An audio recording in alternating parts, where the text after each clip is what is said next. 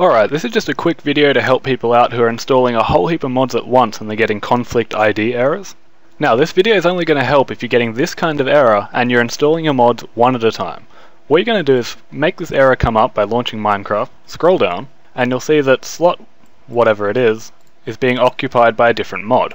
What you need to do is remember what slot is being used, then go to your .minecraft. What you need to find is a config file for the last mod you installed.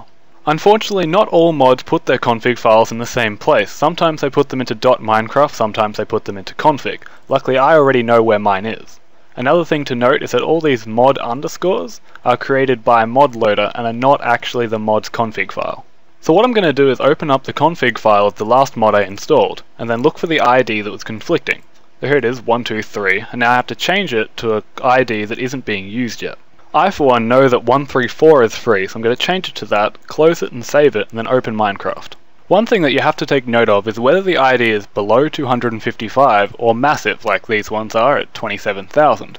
Mods that are below 255 must stay that way. Also, there is a limit to how big these numbers can get, and therefore there is a limit to how many mods you can install. Although not to worry, there are mods that increase that limit. Unfortunately, finding free IDs is a matter of trial and error, unless you have not enough items installed, which I'll do a review for sometime later.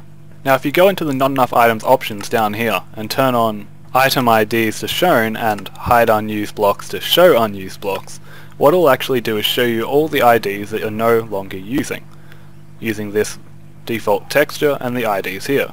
This will show you all the unused blocks which you can change future mods to. Unfortunately, you can only get these IDs if your Minecraft isn't crashing already. Anyway, I hope this video helped you install a whole range of mods. Be sure to check out my series if you have the time, or check out my other mod reviews. Stray Mav signing off.